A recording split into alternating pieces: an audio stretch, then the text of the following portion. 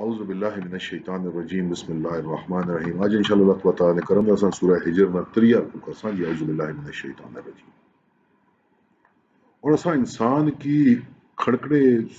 سڑے ہوئے گارے نو پیدا کیتا۔ جڑا کھنکنا گارا ہونا، سڑیا اس کو پیدا کیتا۔ اور جنہ کی اس تو پہلے اسا بغیر تو نہیں، ایک اگ تو پیدا کیتا۔ اور جب پروردگار فرشتیاں کی فرمایا کہ میں ایک کھڑکڑے سڑے گارے چو ایک بچر بنانے آنا جس میں میں اس کی انسانی شکل درست کری چھوڑا، اس نے جو اپنی بے بہا چیز یعنی روح پھوکی چھوڑا، تو اس نے اگہ سجدے ٹئی پیا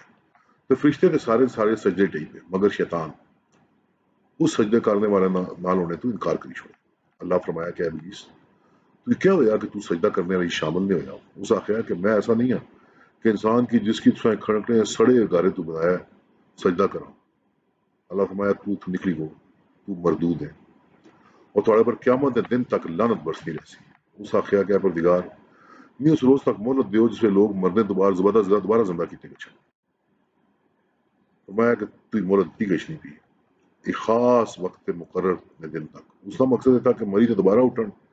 اللہ تعالیٰ سارے کے ماننا اللہ کے تعالیٰ خاص بہت یعنی قیامت دن تک والی مہلت کی اس آئے ਜਿਸ ਤਰ੍ਹਾਂ ਤੁਸੀਂ ਮੀਂਹ ਰਹੇ ਨੇ ਰਸਤੇ ਤੋਂ ਰਦਾ ਕੀਤਾ ਮੈਂ ਵੀ ਜ਼ਮੀਨ ਗਿਆ ਸਾਂ ਦੇ ਲੋਕਾਂ ਦੇ ਗੁਨਾਹ ਗੁਨਾਹ ਸੋਹਣੇ ਕਈ ਤਕਾਸਾਂ ਔਰ ਸਾਰਿਆਂ ਕੀ ਪੁੱਠੇ ਰਾਹ ਲਾਸਾਂ ਹਾਂ ਜਾਂ ਸਾਰਿਆਂ ਕੀ ਬੇਕਾਸਾਂ ਹਾਂ ਇਹਨਾਂ ਜਿਹੜੇ ਸੋਨੇ ਮੁਖਲਸ ਬੰਦੇ ਹਨ ਉਹਨਾਂ ਪਰ ਬੜਾ ਕਾਬੂ ਚੱਲਣਾ ਮੁਸ਼ਕਿਲ ਹੈ ਅੱਲਾ ਫਰਮਾਇਆ ਕਿ ਮਾਇ ਤੱਕ ਪਹੁੰਚਦੇ ਨਾ ਇਹ ਇਹ ਸਿੱਧੀ ਰਾਹ ਹੈ ਜਿਹੜੇ ਮੇਰੇ ਮੁਖਲਸ ਬੰਦੇ ਹਨ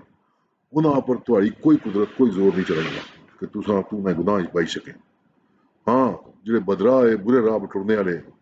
ٹرنے والے کہ میں تھوڑے پیچھے ٹوری چھوڑ سا اور انہاں سارے نے وعدے دی جگہ پھر آخر دوزخ ہے اس نے سات دروازے ہر دروازے واسطے انہاں جماعتاں تقسیم کری کری چھوڑ سا جنم نے سارے دروازے واسطے واخر دعوانا الحمدللہ رب العالمین